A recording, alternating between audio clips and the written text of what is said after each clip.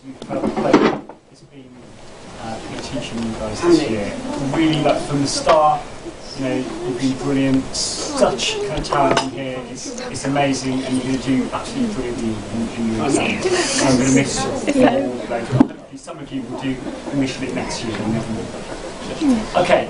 Um, I'll read my poem out to you that um, I've written, and then I'll give you a copy. There's there's a picture of you guys in the back.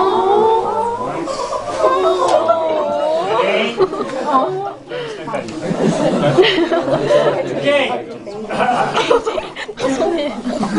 well, it really has been an eventful year, but now the end is drawing near. For English in H10 for 11B1, where I once sung Rodolfo's song. You admirably put up with the lit course alterations, but some of your mums had mild palpitations. you thought hard about the name of that baby of mine, who I know I went on about a lot of the time.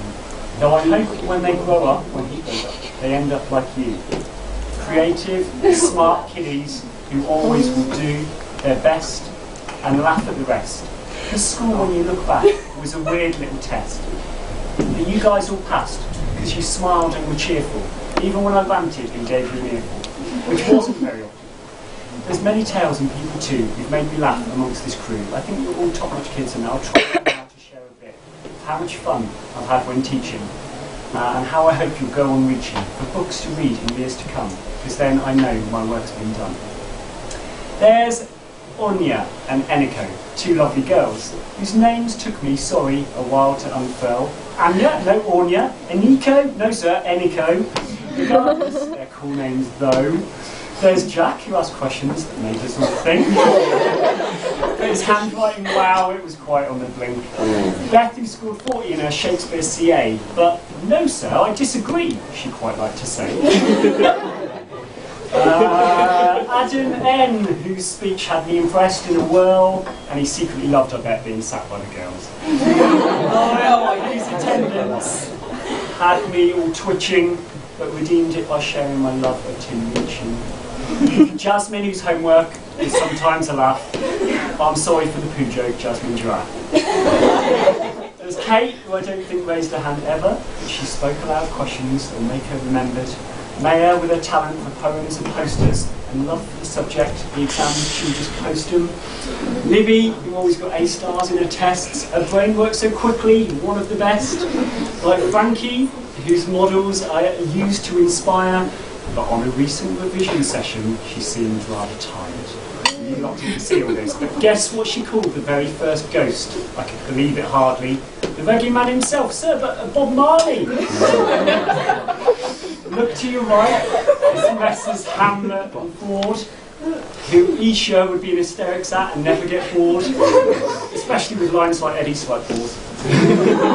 There's some songs about me on the Christmas Carol coach. I felt rather proud until there were songs made me choke. I wrote a poem about Leo, which was really fantastic. And Sam, did you know he's quite fantastic?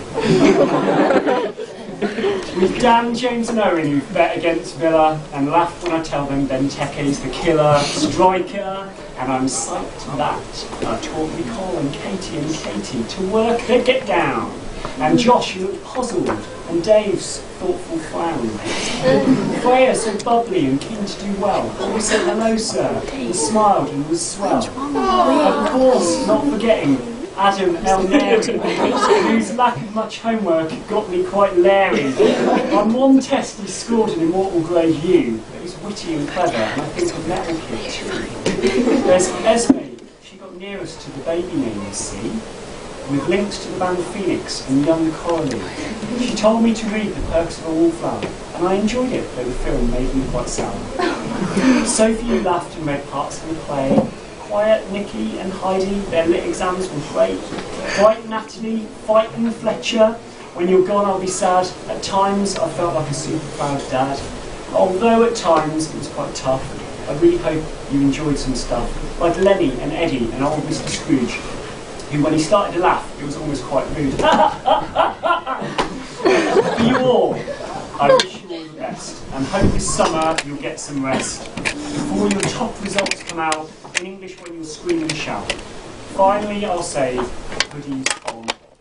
Ladies and gents, year 11 is good.